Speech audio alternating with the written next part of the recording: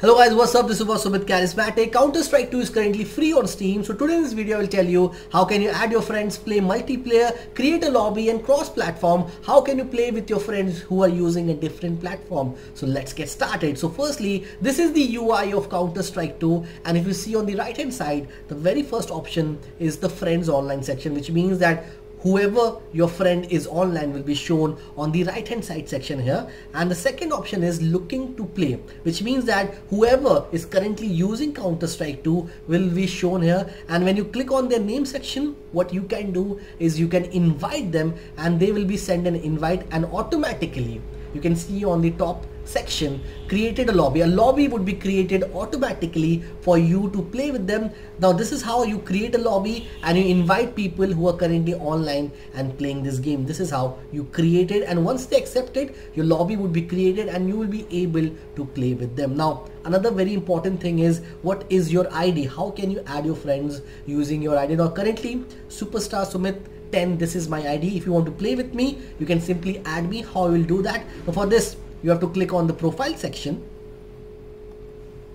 and then you have to go to the friend section at the bottom. And then you can see that this window has come. Two things. Very important two things are shown here. First your steam id which if you are not sure what is your steam id and then the right hand section which is the plus section which means that you can add your friend. Suppose if you want to add me then definitely you can search for me here. And then from here you can add me and we can play together. This is how you will be searching most of your friends who are currently using counter strike 2 on different platform on cross platform also this might be working and this is how you search your friends. So very important is the id the the game id you have to ask your friends and then you will be searching here and then you will be adding here. Once you have added your friends you have successfully make sure that you have added the game added the added your friends then on the right hand section friends you will be seeing all your friends who are currently online and then you'll be able to play with them and create a lobby.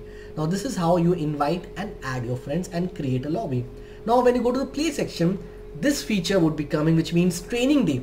Firstly you have to complete the brief training session. Then only you will be able to play the other modes which are going to be eventually be available on counter strike 2 now you cannot skip this training day because this is very much important. Once you complete this then only you will be able to progress and and you can add your friends and play the other modes. So you cannot skip this. So and also the inventory and loadout section you can check. And the play section is this mandatory to complete the training. And the profile if you want to upgrade you have to buy the prime subscription. So this was about counter strike 2 hopefully you will love this video. If you have any doubt let me know comment section. And if you want to play with me you know my id you can simply add me and then we can play together create a lobby. So this was a video regarding counter strike 2 if you haven't subscribed to my channel kindly subscribe it see you in the video. Take care. Keep supporting. Keep loving. And always keep gaming